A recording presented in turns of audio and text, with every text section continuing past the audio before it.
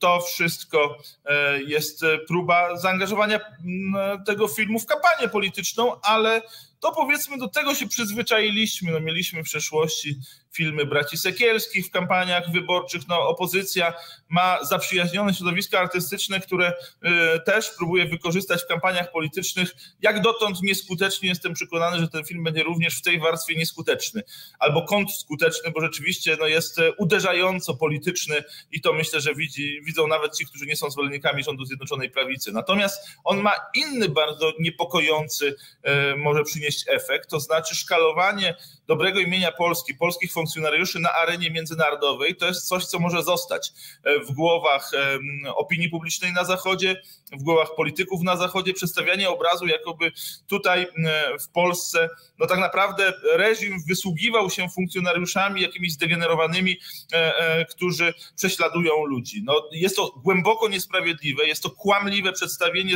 funkcjonariuszy Straży Granicznej, którzy bronią polskiego bezpieczeństwa, bronią polskiej granicy, tam gdzie mogą, tylko to opiekują się również tymi, którzy są bezbronnie wykorzystywanymi ludźmi przez reżim Aleksandra Łukaszenki, ale w wielu przypadkach tam, gdzie są to świadomi migranci ekonomiczni, czasami grupy przestępcze, tam twardo reagują. Tam reagują w taki sposób, żeby ci ludzie nie mogli do Polski się przedostać. E, to jest dzisiaj obraz polskiej granicy, a nie ten, który przedstawia Agnieszka Holland.